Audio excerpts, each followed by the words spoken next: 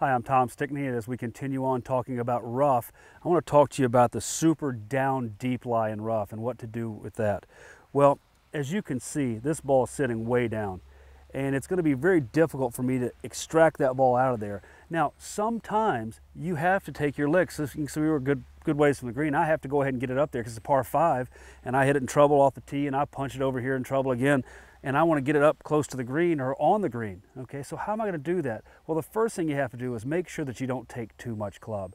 How do you know how the ball is going to come out of the rough, whether you hit a three iron or a seven iron? Well, that's from practice. So you need to spend some time practicing these shots to figure out what you can and can't get away with.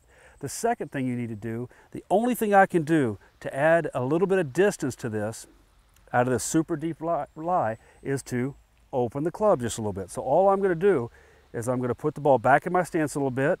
I'm going to open the blade just a little bit, and that's going to add just a little bit of loft. And all I'm going to do is set the club so I can chop down on it. So ball's a little bit further back, open the blade, set the club so I can chop down on it. Here we go. Ball back, open the blade, set and chop. And sometimes that's about all you can do out of the rough. You can see that ball came out low and squirting, and it, hopefully it chased up on the green. That's about all I can hope for.